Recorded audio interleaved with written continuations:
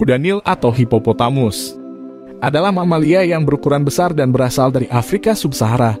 Mereka tinggal di dekat air tawar seperti danau dan sungai. Kuda Nil dewasa mempunyai berat mencapai 3 ton. Meskipun bertubuh besar, kuda Nil mampu berlari secepat 30 km per jam untuk jarak pendek lebih cepat dari lari manusia pada umumnya. Kuda Nil memiliki watak agresif dan dianggap salah satu hewan paling berbahaya di Afrika. Kuda Nil adalah hewan herbivora. Pada siang hari, kuda Nil berada di air atau di lumpur untuk tetap dingin.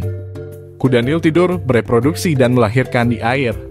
Mereka hidup secara berkelompok dan menguasai wilayah tertentu. Lama hidup kuda Nil bisa mencapai 50 tahun.